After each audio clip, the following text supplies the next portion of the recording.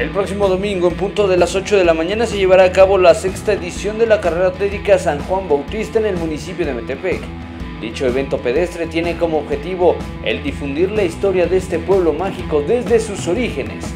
Habla al respecto el dirigente del comité organizador Gabriel Gómez, quien puntualizó que también se tratará de rescatar la identidad de esta región del Estado de México.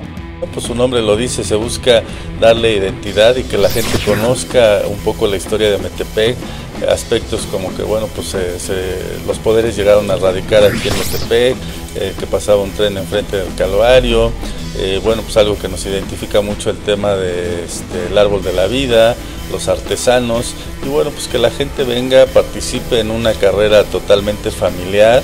Esta actividad se erige como de carácter incluyente y es que albergará diversas categorías para dar cabida a prácticamente todos los integrantes de la sociedad.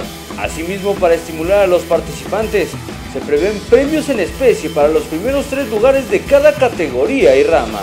Eh, tenemos cuatro categorías, la juvenil de 15 a 20, la libre de 21 a 39 y la máster de 40 y más, así como la categoría para personas con discapacidad.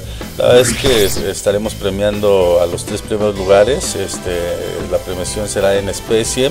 La demanda de este evento parece no ser masiva, sin embargo, se espera buena presencia de corredores de la zona del Valle de Toluca, en específico de los oriundos del pueblo mágico de Metepec. Asimismo, para los que no conocen las tradiciones de un domingo, en la zona centro de este pueblo mágico, se les invita a dar un recorrido a esta pintoresca región.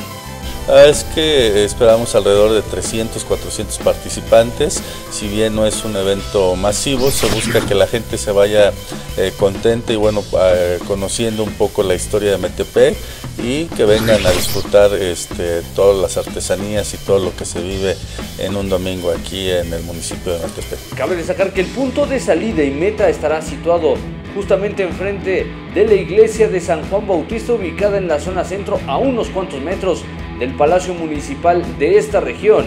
En total, se estarán recorriendo 5 kilómetros. Para nuestro mundo deportes informó José Luis Mercado.